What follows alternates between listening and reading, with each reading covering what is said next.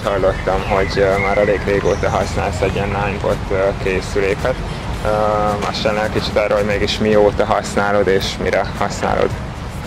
Három éve járok vele. Gyakorlatilag minden hétköznap. Ezzel járok dolgozni.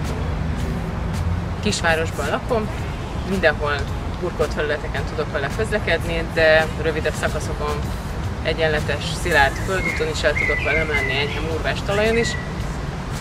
És hát napi három kilométert megyek vele legalább. Ugye alapvetően ez nem a, a legnépszerűbb közlekedési forma, és uh, talán nem is tűnik olyan könnyűnek. Neked mennyi idő volt így megszokni, vagy milyen könnyű úgy a Elég könnyű volt. Elég könnyű volt megszokni, mert valójában csak azt kell elhinni, hogy tudsz egy helyben állni. Hogyha egy helyben tudsz két lábon állni, akkor már minden bizonyal meg fogod tudni tanulni. Csak azt kell elhinned, hogy tudsz egy helyben állni, és ugye maga a gép az egyensúlyoz helyettet, tehát neked nem is kell egyensúlyoznod. Gyerekek általában hamarabb ráéreznek, mert kevésbé van veszélyérzetük, de vannak olyan idősebb felnőtt ismerőseim is, akiknek megtetszett, kipróbálták, és, és nekik is könnyen ment.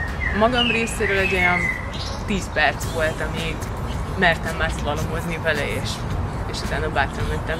És hozzáteszem, hogy nem vagyok egy nagyon bevállalós csaj. Annyi idő feltölteni ezzel nincs, vagy volt ebből bármilyen gondod? Nem, eddig még nem volt vele problémám.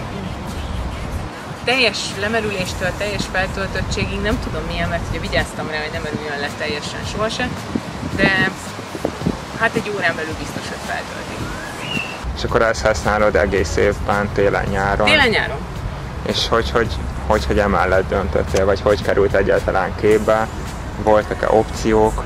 Kocsi és ez, vagy ez Gyalog hogy jártam előtte, és uh, semmiképpen nem akartam autóval járni, mert uh, egyrésztről nem tudnám fenntartani, másrésztről pedig uh, ezekre a minimális távolságokra felesleges lenne egy környezetkárosító megoldást választani. Viszont nem szeretnék izzattal járni a munkahelyemre, és ezért ez egy kényelmes megoldás abból a szempontból, hogy bármit felvehetek, álló pozícióban tudok közlekedni, fizikai megerőltetés nélkül.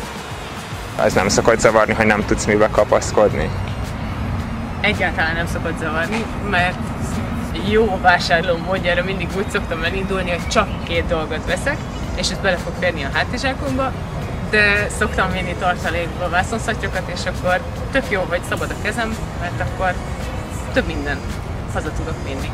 A csúcsom egy mikrovásárlás volt, amit így vittem haza.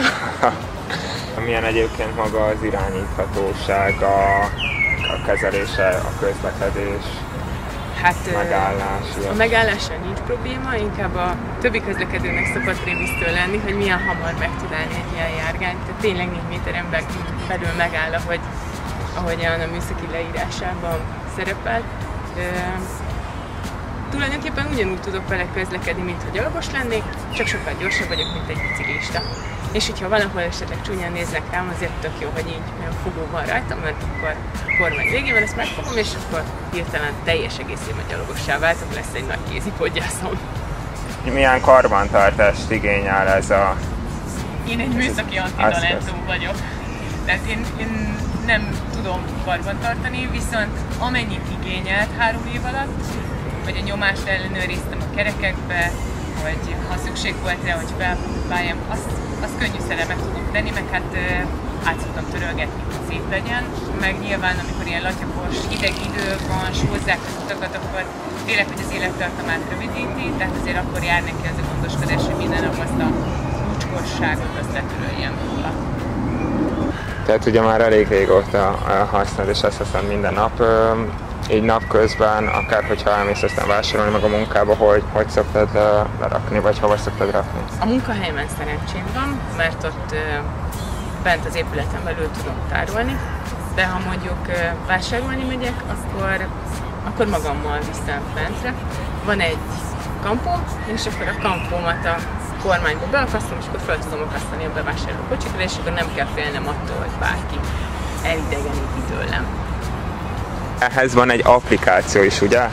Igen, igen, igen, igen. A telefonra kell felrakni, és gyakorlatilag az applikáción keresztül lehet követni azt is, hogy mennyit mentél a járgányoddal, milyen gyorsan, milyen átlagsebességgel, mennyi időt bír még kitöltöttség nélkül, és hát egy kis csajos vonal, mert lehet állítani azt is, hogy milyen színe legyen a fényeknek, amikor így mész, és azt látják majd utána.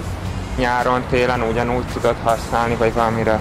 Hát télen egy kicsikét jobban oda kell figyelni a töltésre, mert nyáron hetente egyszer töltöm, azzal, hogy így napi 3 kilométert legalább használom. Télen azért félek, mert litium ion aksi van benne, és nehogy lemerüljön teljesen, ugye az rövidíteni az élettartamát. Ezért ott, törekszem arra, hogy minden nap töltsem fel, hogy, hogy a hideg időjárás ne szívja le az energiáit, de így is elég bíró a járgány, mert most már három éve használom. És most, hogy már három éve így járod ezzel az utakat, egyébként mit szólnak hozzá az emberek már azért? Eleinte látványosság voltam, meg mindenki ki akarta próbálni, mert aki bátrabb volt, az meg is tette. Mm, nem okozott problémát az, hogy hogy tudok vele járni. Én szerencsére a legtöbb ilyen akadálymentes már járták, tehát hogy nincsenek magas patkák, hanem azért egy ilyen 3 centinél magasabb patkán nem próbálnám ki, hogy fel tudok-e velem menni, de azon kényelmesen könnyűszerre el tudok közlekedni, és ugyanígy mondjuk ilyen rövidebb szakaszokon földúton is. És volt bármilyen vicces történés, bármilyen vicces incidens a, a járművel? Legtöbbször az szokott nekem mulatságos lenni, hogy azok, akik szembe jönnek velem, azok ugye nem, nem feltételezik azt, hogy le tudok lassítani, vagy le akarok lassítani, és akkor ez egy kis riadalmat szokott kelteni, de nyilván egy gyalogosnak nagyon gyorsnak tűnik ez a 16-17 km per órás sebesség, hogy így szembe halad, de, de nagyon gyorsan meg lehet vele állni, és hát nyilván arra is figyelni kell, hogy nehogy kilépjenek eléd, meg kapuk előtt, hogy közlekedek, azért az vidéken többnyire ki, ki egy-egy buksi, hogy el ne csapjak valakit, mert akkor biztos, hogy ez kellemetlenséget okozna, de nem volt ilyen problémám. És ki volt a, a legviccesebb ismerősöd, aki kipróbálta? Vagy a gyerekek. Gyerekek, mert ugye a rövid lábukkal pont olyan, olyan magas volt a kormány, ugye egy tért kormány van a járgányon, hogy hogy a combjuknak a közepéig ért, tehát általában a gyerekek nem szokták tudni a térdükkel, hanem a kezükkel fogják meg, és akkor a kezükkel szoktak kormányozni. Májtás egyébként könnyen megszoktad, vagy az, az mi? Nagyon könnyen. Én nagyon szeretek síelni, és, és nekem azt a síelési élményt hozta. És hát azért így három év után is azt mondom, hogy még mindig fulig érve szájjal jutok be a munkahelyemre, mert, mert ez egy pozitív életérzést ad akár végül is óvatosan mobilozni is lehet. Teljesen szabad a kezem, nyilván másokat nem veszélyeztetve, persze azt is lehet. Mi a legfőbb praktika, amit ajánlanál egy olyan embernek, aki holnap fogja készhez kapni ezt a terméket? Először is csinálja végig a tanuló programot, mert nem véletlenül van benne a járgányban, hogy először, először végig kell gyakorolni azt, hogy hogyan kell kanyarodni, lassan, olyan körülmények között, ahol biztonságban érzi magát az ember, nem ciki fölvenni a protektort, ami benne lesz a csomagba, és hát érjen fülig a szája. Megmutatnád nekünk, hogy hogy használod, mit tudsz? Hát, persze.